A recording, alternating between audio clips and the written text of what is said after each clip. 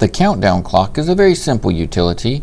Basically, you put it up on your screen or your TV and you click on the number of seconds or minutes that you would like the clock to count down. For example, I'll choose 10 seconds and now it's basically going to count down on my screen to 10 uh, from 10 to 0 and when it gets to the bottom it'll make an alarm.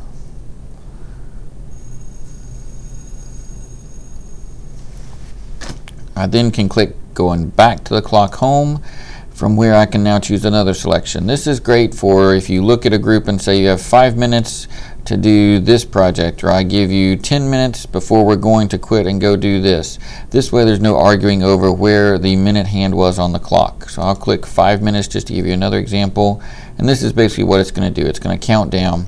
You'll notice if you've used previous versions of this I've got a nice blue dark blue background here with some nice white text so this really stands out very easily and very well in a classroom and that's basically how you use the countdown clock.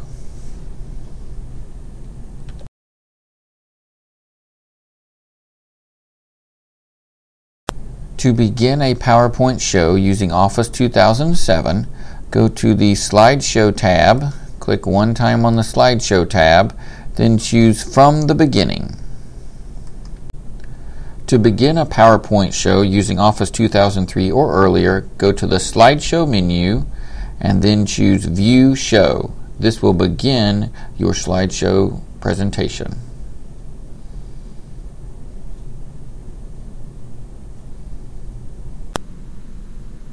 If you receive a security alert when beginning this game and you're using Office 2007, simply click the Enable This Content button and then click OK.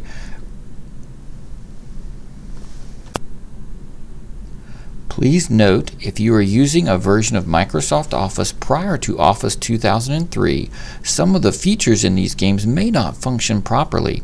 It is advised that you use Microsoft's free PowerPoint Viewer for actual gameplay. To download the free viewer, just do a web search for PowerPoint Player 2007.